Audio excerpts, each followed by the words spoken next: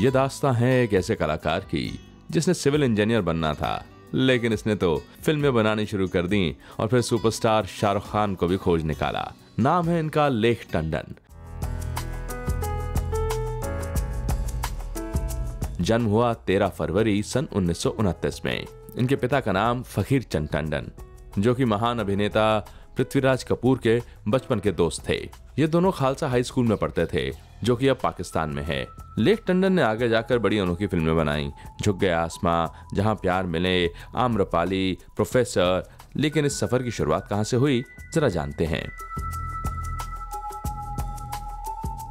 बात उस वक्त की है, जब लेख टंडन पहली बार छुट्टियाँ मनाने के लिए बंबई आए थे। साल था सन 1940 चूँकि पृथ्वीराज कपूर साहब इनके अंकल थे तो ठहरे ये इन्हीं के यहाँ। वहाँ पे मित्रता हो गई राज कपूर साहब से भी। राज कपूर ले गए इन्हें कुछ शूटिंग्स दिखाने के लिए। वो काम देखकर लेख टंडन इतने मंत्रमुग्ध हुए कि मन बना लिया कि अब तो फ़िल्मों में ही आऊँगा। तकलीफ़ ये थी कि इनके पिताजी चाहते थे कि ये सिविल इंजीनियर बने।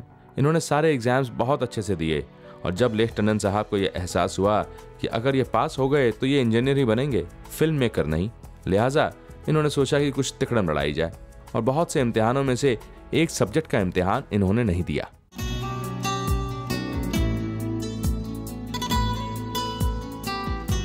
इनके अंकल पृथ्वीराज कपूर साहब ने इनसे कहा कि चलो, तुम पृथ्वी थिएटर ज्वाइन कर लो। लेकिन इनके वालिद साहब अड़ गए। कहा कि पहले ग्रेजुएशन पूरी होगी और उसके बाद थिएटर वेटर का काम होगा। ग्रेजुएशन के बाद पृथ्वीराज कपूर साहब ने इन्हें कैमरा डिपार्टमेंट में डाल दिया। क्योंकि ये साइंस बैकग्राउंड से थे, पृथ्वीराज जी को लगा ये कहाँ स्क्रिप्ट और एक्टिंग डिपार्टमेंट में जाएगा।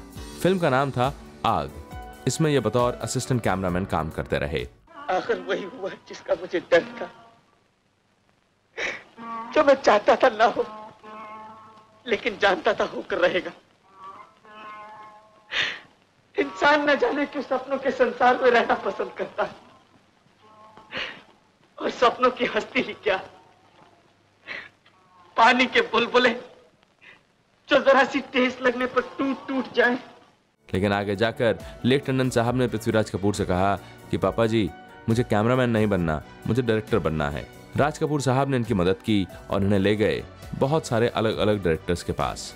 अंत में राज कपूर साहब से इन्होंने गुजारिश की कि क्यों नहीं राज साहब आप मुझे अपने ही गुरु के पास ले जाओ। राज कपूर ने इन्हें बतौर असिस्टेंट लगवा दिया महान डायरेक्टर केदार शर्मा के यहाँ। वही केदार शर्मा जिनसे राज कपूर ने फ़िल्म मेकिंग सीखी थी और जिन्होंने राज कपूर को पहला ब्रेक भी दिया था। बहुत सारी फ़िल्मों में ये बतौर असिस्टेंट डायरेक्टर काम करते रहे। अरे चाँद बाबू होली खेल के आ रहे हो? हाँ। मालूम पता किसी ने बड़े प्याल से रंग दिया। किसकी मेहरबानी हुई? तुम्हारी रजनी मेम साहब की। कैसे? उनकी गाड़ी के पिछले पहियों में कीचड़ की पिचकारियाँ भरी थी। मुझे सफ़ेद कपड़ों में देखकर आपे से बाहर हो गई। और उसके बाद आई फ़िल्म प्रोफेसर। इस फ़िल्म को इन्होंने डायरेक्ट किया। फिर शमी कपूर के साथ एक और फ़िल्म की प्रिंस जिसे गाने बड़े मकबूल हुए। शंकर जयकिशन से इनकी खासी दोस्ती थी क्योंकि शंकर जयकिशन भी पृथ्वी थिएटर में काम करते थे और लेख टंडन ने भी कुछ वक्त पृथ्वी थिएटर में बिताया था। इन्होंने फ़िल्में बनाई, झुक गया आसमां आम्रपाली जहाँ प्यार मिले, दुल्हन वही जो पिया मन भाई और इनका एक अच्छा खासा नाम बन गया। धीरे धीरे इन्होंने फ़िल्मों का रुख छोड़ा, टीवी सीरियल्स की तरफ़ रुख किया। इन्होंने बनाया सीरियल दिल दरिया, जिसमें एक ऐसे लड़के को कास्ट किया, जिसके बाल बहुत लंबे थे। उस लड़के से इन्होंने कहा कि अगर तू अपने बाल कटवा ले तो मैं तुझे हीरो बना दूँगा। लड़के ने कहा कि अगर बाल कटवाने के बाद भी हीरो नहीं बनाया तो? इन्होंने कहा कि वो देखा जाएगा।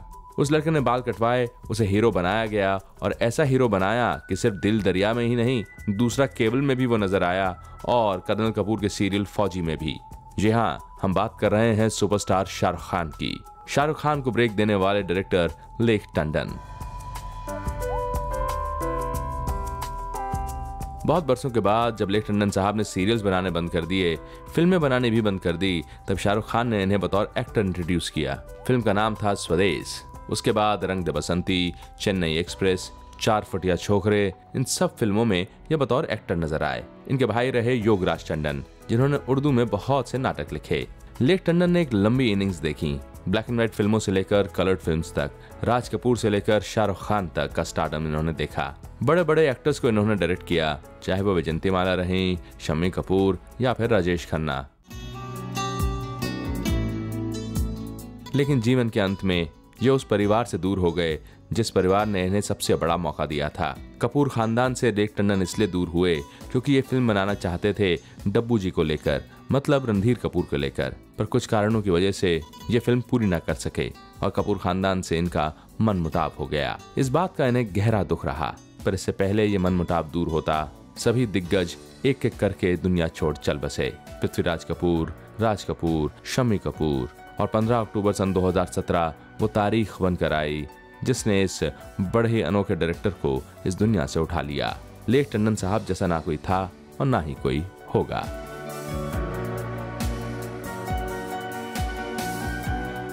महान प्रतिभाओं के जीवन के बारे में जानने के लिए सब्सक्राइब करें पीपल एंड हिस्ट्री।